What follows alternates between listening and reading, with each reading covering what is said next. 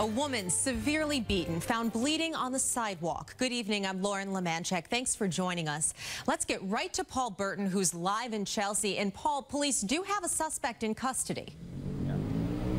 And Lauren, Manuel Marroquin will face a judge tomorrow morning. Meanwhile, we spoke with his cousin, who was very upset over this incident. The woman managed to make it out of this apartment building, bleeding from her face. She stumbled along this sidewalk here and eventually collapsed right to the ground.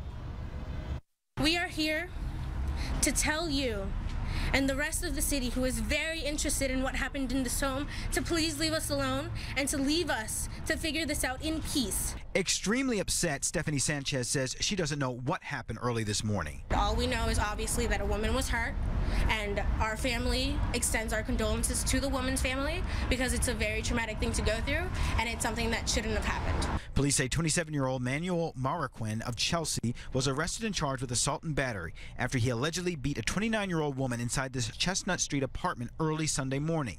Stephanie says Manuel is her cousin.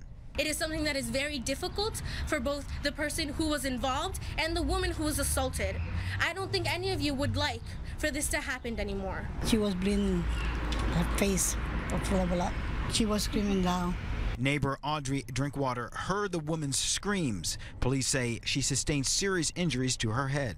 So I looked through the window and I saw the girl laying down on the floor.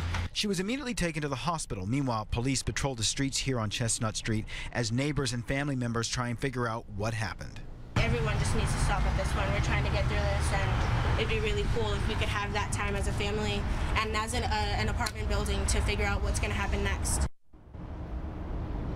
very upset. The woman was taken to Mass General Hospital in critical condition. Manuel will be arraigned tomorrow morning in Chelsea District Court. We're live in Chelsea tonight. I'm Paul Burton, WBZ News. Lauren, back to you.